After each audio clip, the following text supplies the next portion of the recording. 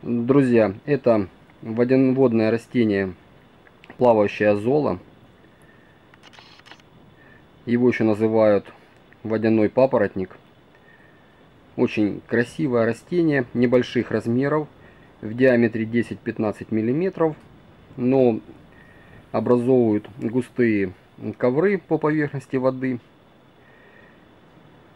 ну, что является дополнительным украшением и озеленением пруда. Растение, по растению можно определять перегрев воды по его цветовым внешним факторам. То есть, если растение ярко-зеленое, сочно-зеленое, все в порядке. Если растение начинает краснеть, значит идет перегрев. Очень жарко, вот. Если растение темнеет, значит очень холодно, либо же уже были приморозки. Ну вот так можно по этому растению определять температурные факторы водоема.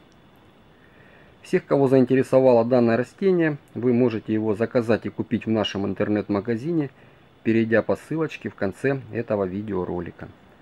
Всего вам доброго, друзья! Подписывайтесь на наш канал. До новых встреч!